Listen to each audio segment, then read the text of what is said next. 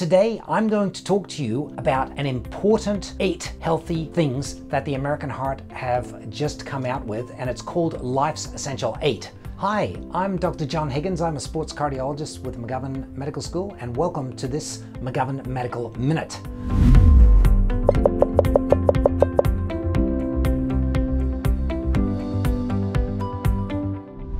Number one, eat better.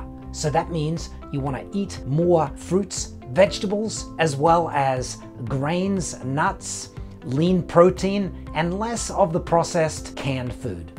Number two, manage your weight. We know that a healthy body mass index for adults is going to be between 18.5 to 25. And that's a very easy thing to calculate. So that's equal to your weight in kilograms divided by your height in meters or 703 times your weight in pounds divided by your inches squared.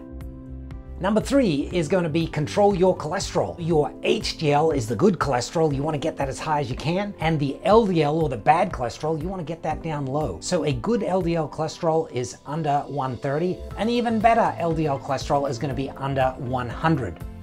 Number four, manage your blood sugar. We know that high blood sugar levels are not good for the heart, the kidneys, the brain, and other organs. So cut back on your processed sugar intake. That's everything from sweets, candies, to things that just have added sugar to them. A lot of processed foods have that. Much better off going with fresh fruit, vegetables, and fresh things.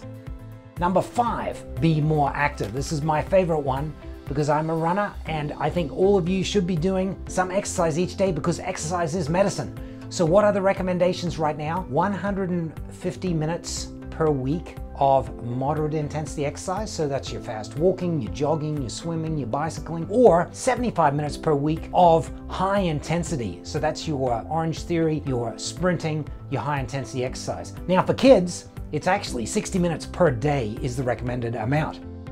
Number six, quit the smoking. Not only the regular cigarettes, but we're talking about the vaping, the e-cigarettes. Amazingly, if we cut out all of that smoking, we would reduce the number of cardiovascular deaths by a third. And another important fact, kids under 11, one third of them are exposed to secondhand smoke and or vaping, which is really, really bad for them as well.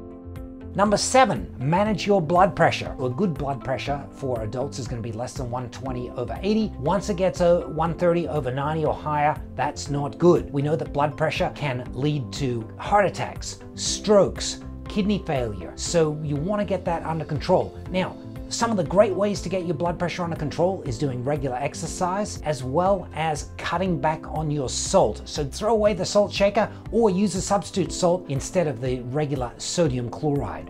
And then finally, get healthy sleep.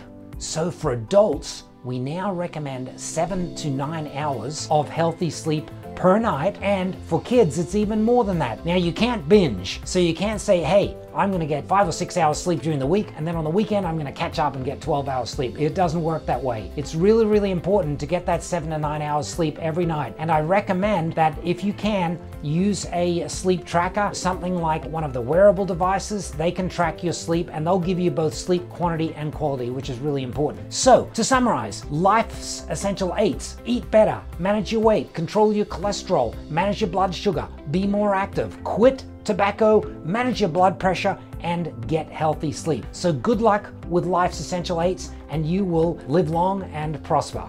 Thank you for watching this McGovern Medical Minute.